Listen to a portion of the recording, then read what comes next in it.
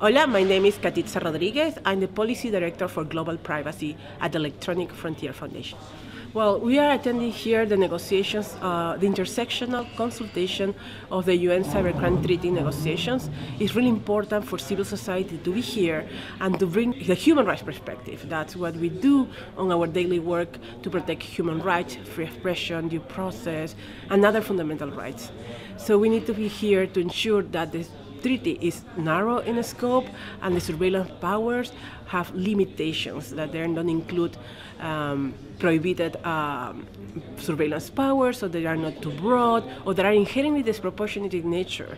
We need to make sure that the legal safeguards are implemented so they are the powers are not being abused by governments.